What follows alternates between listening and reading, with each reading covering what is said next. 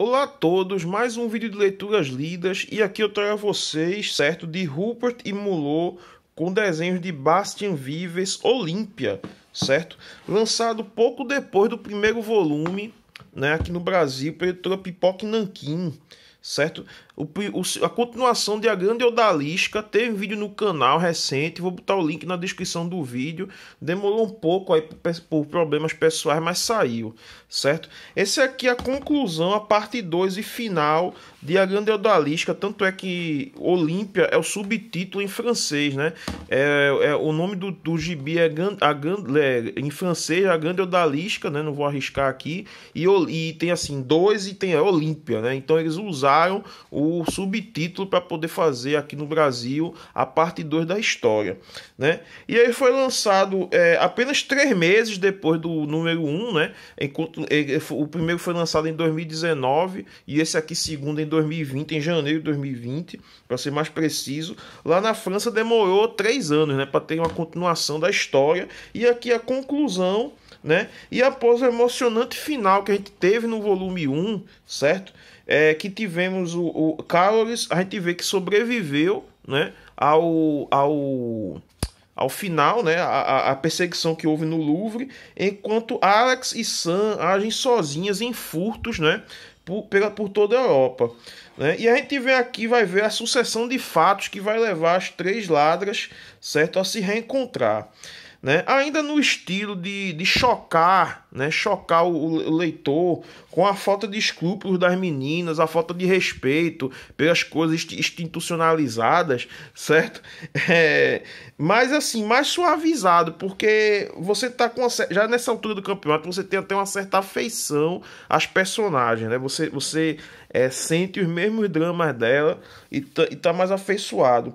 Mas eles continuam a narrar com maestria, né? Esse gibi de heist, né? Que é um, é um verdadeiro gibi de roubo, né? De heist, né? Mas com é, apenas com um pano de fundo isso para relações bem humanas, seja mostrando de forma cômica ou dramática. Né? Aí seguindo os filmes, um, os moldes de um filme de assalto, né? A última parte é, é de tirar o fôlego, minha gente. É, é, o encontro das três é bem legal, o reencontro.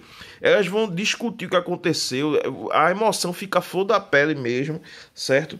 E você vai, você fica engajado com elas pro final do gibi, né? Fica, fica muito atento ao que acontece é uma leitura, cara, que você devora no instante, certo? O gibi belíssimo aqui, somando isso tudo, né? A gente tem a arte do Bastião Vives, que aí tem uns traços leves, né? Eu já falei isso no primeiro vídeo, né? Uma, uma, um traço bem solto, mas que somando tudo, ele cria uma narrativa bem dinâmica, uma narrativa fluida, o, o, os cenários dele, o, o, o mover dele parece água, né? É, é um gibi que parece água, certo? E além de tudo, você tem as belas cores, né? Como eu já falei também no primeiro, de Isabelle Merlet, certo? Ajudada aqui por Jean-Jacques Roger, né? Deixando tudo muito mais belo, né? Um gibi belíssimo de se ler, né? Na, nas suas imagens, nas suas, nas suas, é, tem, tem isso no final, certo? Não vou falar o final para não estragar, certo? Aqui no final dessa edição e da outra tem tem essa, essa, essas pinturas aqui com as três personagens, bem legal. E aqui, né, um pequeno resumo dos autores, né? Florian Rupé e Jerome Mulot, em equipe, e Arte Bastien Vives.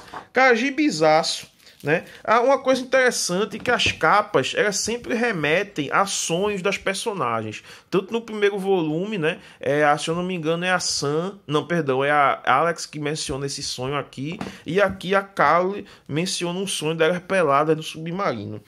E as capas né, tem uma textura toda, toda gostosa que você pega aqui. É uma coisa bem, bem sensual de você pegar. É isso, cara. Gibizaço. Recomendo muito que vão atrás. Diversão garantida isso aqui. Concordam, discordam, digam o que acharam nos comentários. Se inscrevam no canal, apeçam para notificações. Obrigado a todos e saudações.